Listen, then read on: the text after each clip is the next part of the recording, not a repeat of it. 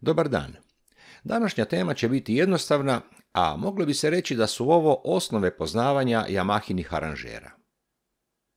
Ritam ili style sastoji se od uvoda, varijacija, prelaza, brejka i završnih dijelova. To je u stvari svima poznato. Međutim, u njemu se nalazi još informacije za zvukove i za multipedove.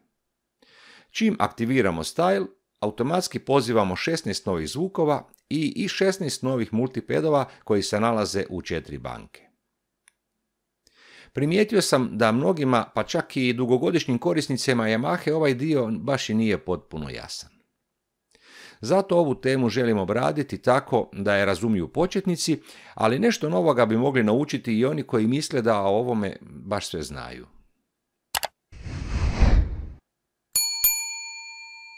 Da bi me lakše pratili, kopirati ću par tvorničkih ritmova u posebnu mapu.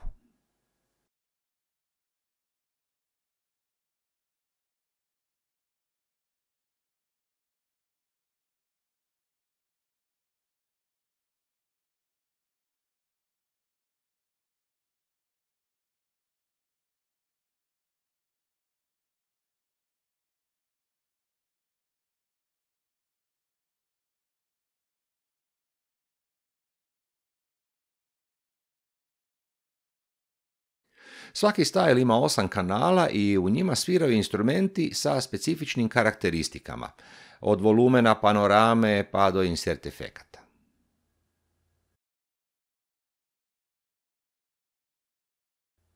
Kada krene svirati prvi takt novog stajla, svi parametri se postavljaju na osnovnu vrijednost tog ritma. Poslušajte.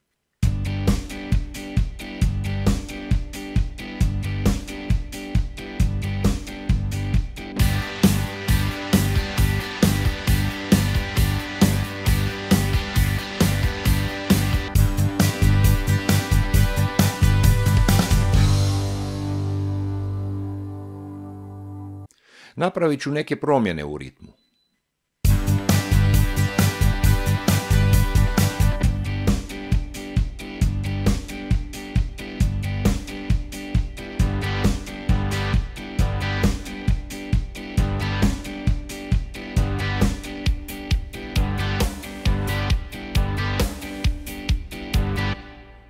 Ako sada pozovem isti ritam, sve vrijednosti koje sam mijenjao vratit će se na početnu poziciju. Dakle, one su zapisane u strukturu stajla i nalaze se u prvom taktu, takozvanom headeru stila. Ove informacije možete vidjeti i ako ritam otvorimo u Mixmaster programu.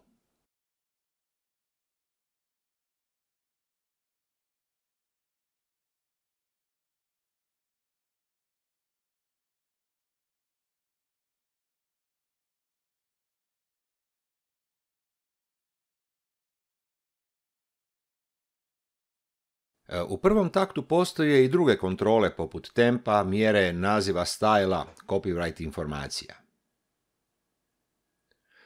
Pored kontrola koje ste malo prije vidjeli, svaki style poziva i zvukove za sviranje. Ti zvukovi su pohranjeni u OneTouch setting memoriju.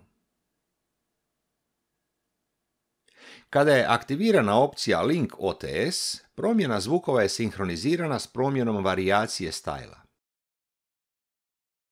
Ako isključim OTS link, zvukove mogu mijenjati samo direktno na OTS gumbima.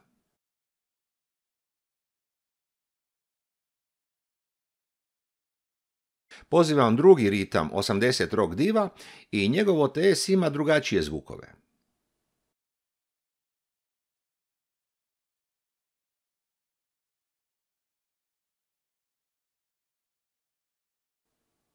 Ako aktiviramo OTS link, promjena će se događati automatski preko varijacije ritma.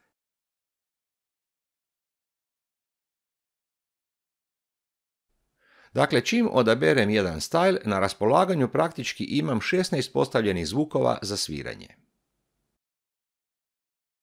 Ali to nije sve. Svaki OTS u sebe veže i novi multipad.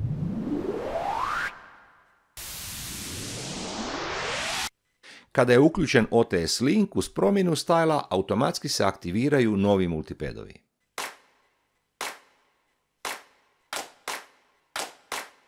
Znači, svaki style ima svoj specifičan OTS, a onda se preko njega aktiviraju pridruženi multipadovi. Ova tri segmenta čine jednu cjelinu i dovoljno je pozvati jedan ritam i odmah smo spremni za izvedbu neke pjesme.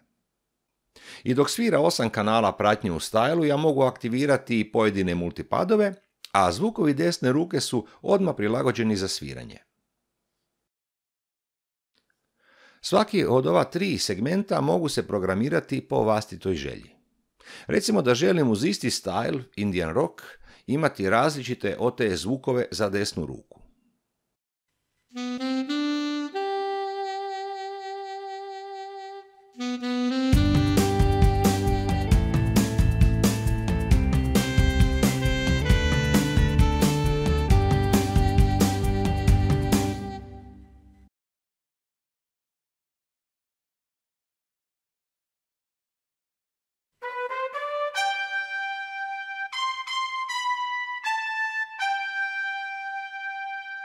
Promjenu ću spremiti tako da pritisnem gumb Memory i nakon toga željenu poziciju OTS-a.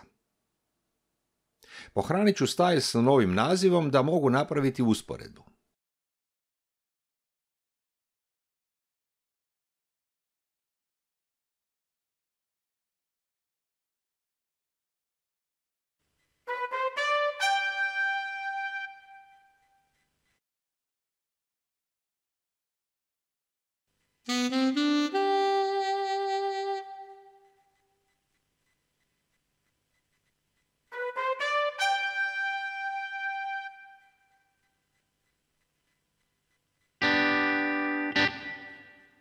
Isti postupak radim i za zvuk na trećoj poziciji OTS-a.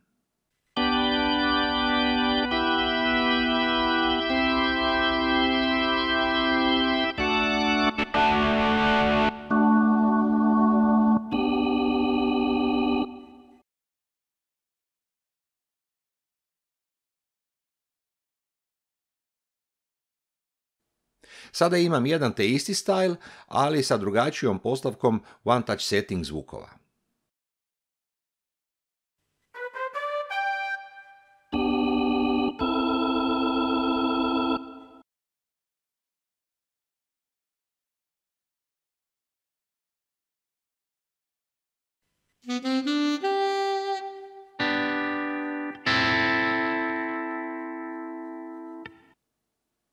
Na isti način mogu programirati multipedove, a prvo ću odabrati novu banku.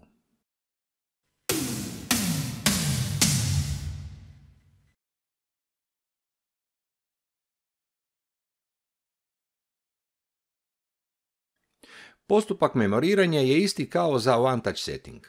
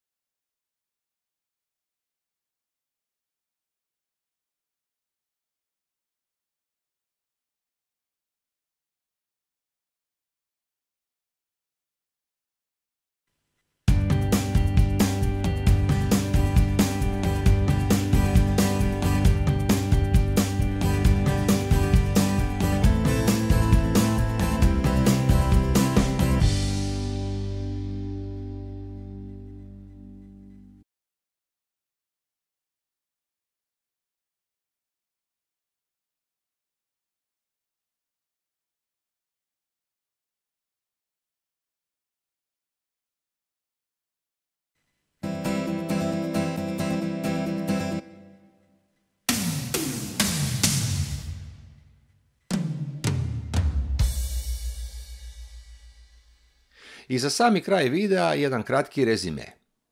Style, One Touch Setting i Multipad su tri segmenta koja su međusobno povezana. Odabirom nekog stajla automatski pozivamo i dodijeljeni OTS. Ako je upaljen gumb Link OTS, svaka promjena varijacije će se prenijeti na One Touch Setting zvukove, a time ujedno i na Multipad. Ali kada je link OTS ugašen, e, OTS zvukove možemo aktivirati samo ručno i onda ćemo ujedno djelovati i na multipad. Ako pravilno koristite ove mogućnosti, e, mogu vam vrlo olakšati sviranje.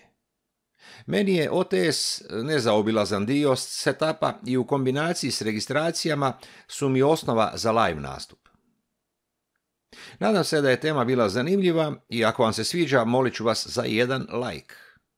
Pitajte u komentarima ako vas nešto zanima i rado ću vam odgovoriti i pomoći savjetom. Hvala vam na gledanju i do idućeg videa želim svima dobro zdravlje i mnogo sreće u životu. Pozdrav od Kaspera.